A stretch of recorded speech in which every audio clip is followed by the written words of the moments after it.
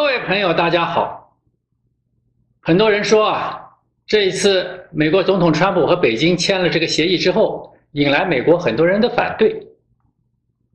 不过问题，如果我们反过来看的话，那么这一次北京的谈判代表团和美国签协议，难道他们就没有遭遇任何反对的声音吗？难道他们就没有任何来自党内的压力吗？事情显然不是这样嘛，因为北京的谈判代表团他们遭受的压力和反对，恐怕要远远超过美国总统川普。在某种程度上，北京的谈判代表团，他们是顶着压力到美国来签这个第一阶段贸易协议的，因为他们会遭到中共党内保守派、强硬派非常大的压力，他们绝不会那么轻松去签这个协议。现在呢，北京的谈判代表团在中共内部遭到压力，可以说明显的通过北京官方的媒体已经表现出来了。北京中央电视台的新闻联播节目居然呢完全不报道这次中美双方达成第一阶段贸易协议，这是一个非常重大的新闻事件。中央电视台的新闻联播节目不报道，显然是非常诡异的。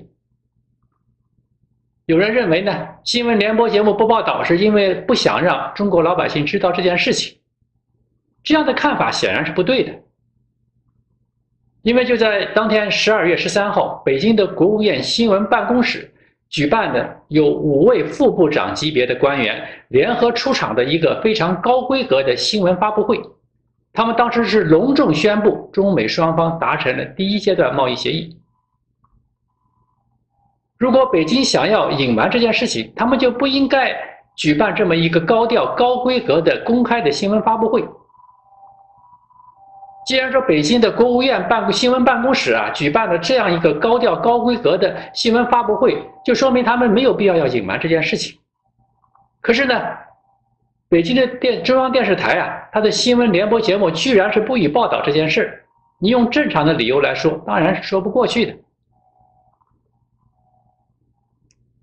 所以说这一次中央电视台的新闻联播节目，他们是故意他不报道这一次的。就是新闻办公室搞的这个新闻发布会，他也是故意不报道中美双方达成第一阶段贸易协议。这其实啊是一个委婉的反对或者是抗议，他们就反对北京的谈判代表团和美国方面达成这个贸易协议。因为北京的保守派、强硬派看来，这次北京谈判代表团和美国达成的协议啊，它是一个具有丧权辱国色彩比较浓厚的协议，他们当然是表示强烈的不满和反对。不仅是中央电视台，那北京的权威媒体新华社和人民日报，他们也只是简单的发表了一个中方关于中美第一阶段经贸协议的声明。除此之外呢，他们没有发表任何的评论，这也是非常诡异、不正常的事情。过去对于北京党中央做的重大决策决定，新华社和人民日报都要发表各式各样的评论，他们要歌颂赞美党中央做出了英明的决策，表示全国人民支持党中央的英明决定。这次。中方代表团和美国方面达成第一阶段的贸易协议，当然应该是党中央做出的一个重大决策。那么现在中央电视台的新闻联播节目不报道，新华社和人民日报不做评论，这当然是一个非常不正常的事情。这就反映出来，现在中南海的保守派、强硬派，他们对这件事情非常的不满和反对。北京的中南海存在反美国的强硬派、反美派，以及存在亲美国的改革派、亲美派，这个其实是一个公开的事实。最明显的例子就是今年六月份，当时北京的保守派、反美派啊，曾经是对北京的改革派、亲美派发起过一场公开的舆论战。我们看一下，今年六月份，北京人民日报、光明日报、新华社这些主流的官媒都发表过一些什么样的文章？光明日报当时发表了一个评论文章，题目是“明辨从美媚美恐美的奇谈怪论”。人民日报发表评论文章，题目是“摒弃恐美从美”。新华社发表评论文章，它的题目是“面对中美经贸摩擦，不能患软骨病”。新华社另外一篇，他的评论文章题目是“面对中美经贸摩擦，不能患幼稚病”。新华社还发表了一篇评论文章，它的题目是“让投降论成为过街老鼠”。新华社新华社发表了一个最具有典型意义的他的评论文章，就是警惕那些手榴弹向后扔的人。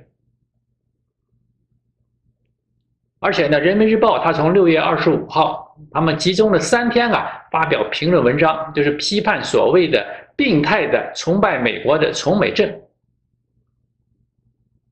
人民日报》他要大张旗鼓的批判所谓的病态崇拜美国的崇美症。本身就说明中共党内是存在一大批崇拜美国的亲美派。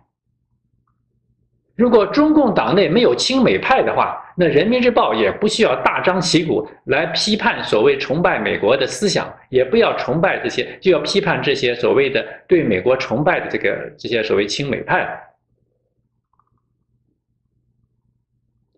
那么我们看今年六月份北京官媒的发起的这一场对亲美派的大批判呢？不仅是明确告诉我们，中共内部存在有势力相当强大的对美国持有友好态度的亲美派、改革派，同样也存在势力相当强大的反对美国的反美派和强硬派。那么现在围绕着中美贸易谈判和中美贸易协议，亲美派、改革派以及反美派、强硬派，他们正在进行一场可以说是我们这些吃瓜群众完全看不见的一个激烈的斗争。如果说斗争不激烈，那么那些反美派、强硬派也不需要发起一场对亲美派、改革派的大批判了。那么我们看今年六月份北京那那场非常热闹的反美派、强硬派发起的对亲美派、改革派的强大攻势，怎么突然之间又销声匿迹、又哑火了呢？这个主要原因呢，就是因为美国总统川普做了一个。正确的决策。当然，川普本人未必意识到他做了一个正确的决策，但是我们从事后回过头来看，当时川普是做了一个正确的决策，因为他是支持了北京的亲美派、改革派，打击了北京的反美派、强硬派，这样呢，就让这个反美派、强硬派发起的这个强大攻势一下子他们就搞不下去了。川普的这个决定，就是他六月二十九号在大阪举行了跟习近平的会谈之后，宣布美国不再对中国产品加征新的关税，而且还宣布有条件的对华为公司部分解禁。川普对北京做出妥协让步的决定啊，可以说是大大支持了北京的亲美派、改革派，就让他们有话可说。因为反美派、强硬派的理论呢，就是说美国要搞死中国嘛，所以他们强调北京是不能对美国妥协让步的。那相反，北京的亲美派、改革派，他们认为呢，中美之间的矛盾是可以通过和平谈判来解决的。那么现在，川普对北京做出了妥协让步，等于就是支持了亲美派、改革派的观点，就是让反美派、强硬派无话可说。这样呢，就使得。亲美派、改革派马上就占上风了。我们看当时六月份，川普对北京妥协让步之后，很多人都在骂川普啊。他们说，川普应该坚持强硬，不应该对北京妥协让步。可是，如果当时川普非常的强硬，对北京毫不让步的话，那就等于是支持了北京的反美派、强硬派，就打击了北京的亲美派、改革派。我们按照六月份的那个架势，就是六月份北京的反美派对亲美派发起那个大批判的架势。如果当时川普非常的强硬，不做任何的妥协让步的话，那么就会让北京的亲美派、改革派他们无话可说嘛。当然呢，他们就可能当时就要被那些反美派、强硬派是完全给打趴下。那么北京政府里面的亲美派甚至有可能就消失掉了。所以说，今年六月份川普的那一次妥协让步，其实是挽救了北京的亲美派、改革派。这件事情，我们从事后回头来看，就可以看得非常清楚。那么自从中美贸易战以来，川普总统一共是四次对北京做出妥协让步，但是呢，这四次的妥协让步其实啊都是产生了支持北京的亲美派、改革派，打击北京的反美派、强硬派，都起到了这样的作用。我们就回顾一下川普的四次妥协让步的历史。在去年五月份中美贸易战正式开始之后呢，当时北京啊完全是强硬派，是压倒一切，是占上风的。当时北京高喊什么对美国的态度都是非常强硬啊，不停的喊什么不惜一切代价奉陪到底。那川普第一次对北京的妥协让步呢，是去年十二月阿根廷中美首脑峰会上。当时呢，川普和习近平达成一个临时协议，就是川普暂停对两千亿中国商品提高关税，并且呢，重新开始自从去年五月份之后就中断了的中美贸易谈判。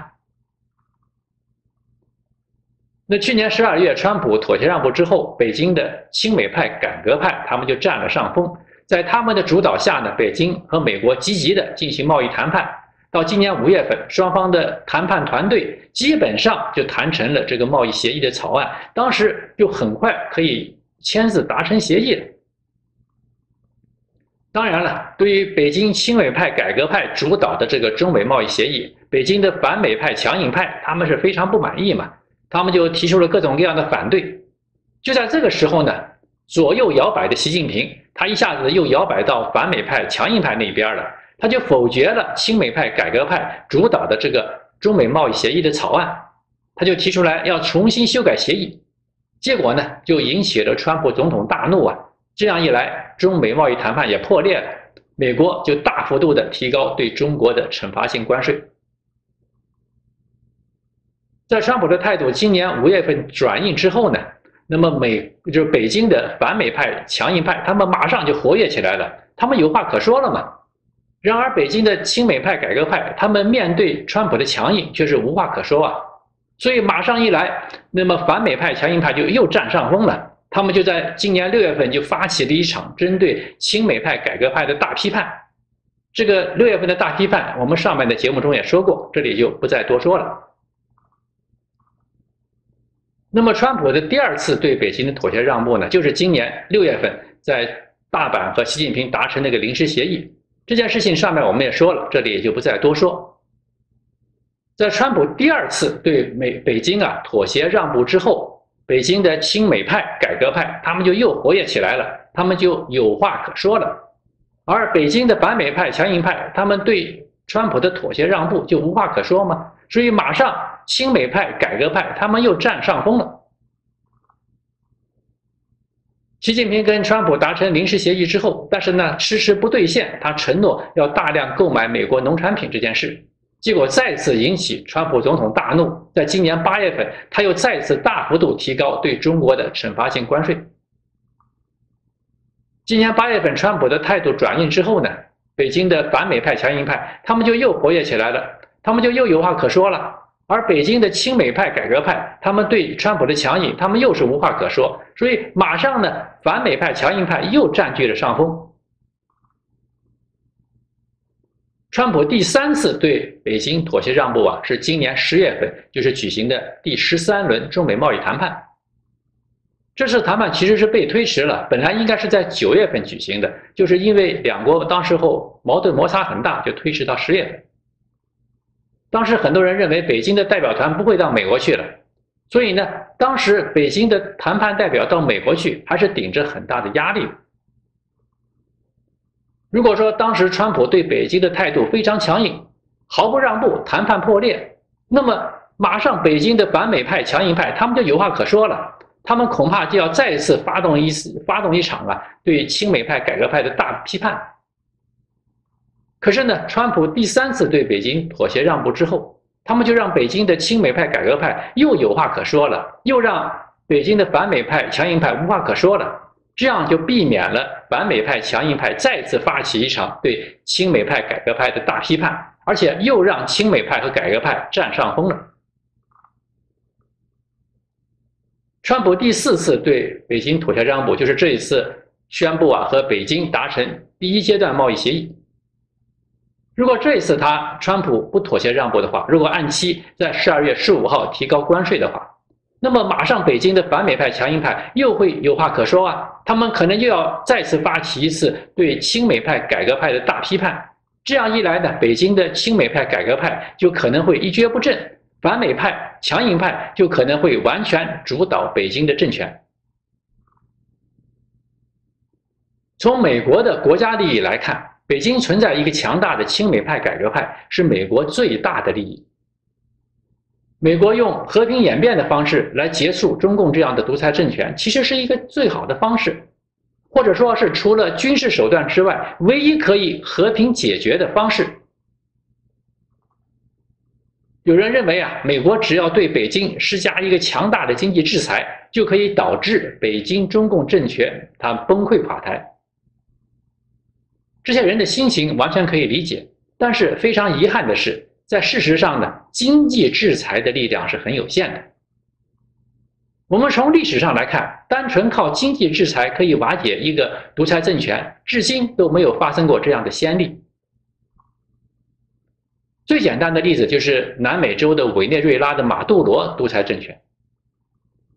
美国对委内瑞拉是进行了最大强度的经济制裁，他对委内瑞拉实施了经济封锁和禁运，已经造成委内瑞拉非常大的经济困难，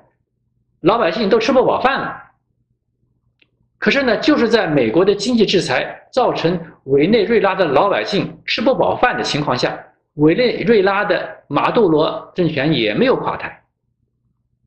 所以这就是一个单单靠强大的经济制裁没有办法搞垮一个独裁政权的例子。美国实施强大经济制裁的还有伊朗、北朝鲜这些独裁国家，你靠单纯的经济制裁也没有办法把这些国家的独裁政权给搞垮。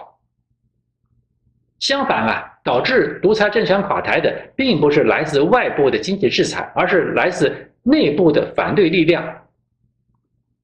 我们看利比亚卡扎菲这些独裁政权的倒台，并不是因为美国的经济制裁，而是因为他们自己国内的反对势力，他们起来推翻了独裁政权。我们再看前苏联政权的瓦解，它也不是因为美国的经济制裁，而是因为美国的和平演变。造就了戈尔巴乔夫这么一批改革派，这才是造成前苏联垮台的根本原因。如果说苏联没有戈尔巴乔夫这么一批改革派，那苏联人民即使是到了吃不饱饭的地步，苏联共产党的政权也未必就会垮台。我们看北朝鲜委内瑞拉的例子，就是外部的经济制裁造成这些国家的人民都吃不饱饭，但是呢，也没有能够导致这些独裁政权的垮台。再看中国自己，在一九六零年当时候大饥荒之后，也是饿死了几千万人嘛。但是呢，中共政权也没有因为说老百姓大量饿死了就垮台。所以说，如果美国对中国进行一个强大的经济制裁，当然会造成中国非常大的经济困难，甚至啊会造成中国老百姓吃不饱饭。但即使是中共政权经济困难到这个程度，也未必就能造成他们就那么垮台了。所以说，堡垒啊最容易从内部攻破。只有用这个和平演变的办法，在中共的内部啊，造就像那个苏联的戈尔巴乔夫那样一批改革派，才能够真正的结束中共的独裁政权。所以从这个角度来看，我们看川普总统这个萝卜加大棒的战术啊，还是比较高明的。所谓就是萝卜加大棒，就是一种可以说是一种和平演变的办法，就是该打大棒时候就打大棒，该喂萝卜时候就喂萝卜，用打大棒来打击北京的强硬派、反美派，用喂萝卜来支持北京的改革派、亲美派。如果你只是单纯的打大棒，完全不喂萝卜，这个单纯的强硬办法并不是一个很好的办法。好，今天先说到这里，非常感谢各位朋友观看我们的频道，谢谢大家。